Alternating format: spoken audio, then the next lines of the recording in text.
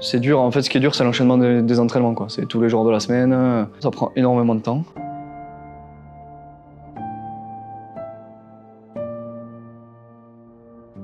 L'objectif final, ce serait énorme de pouvoir faire un Ironman, euh, mais euh, step by step.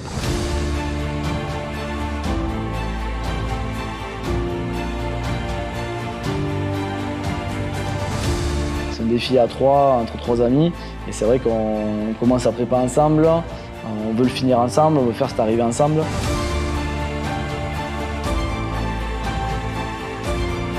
Je vais prouver à mes parents, à ma copine, à mes potes que je peux le faire, quoi.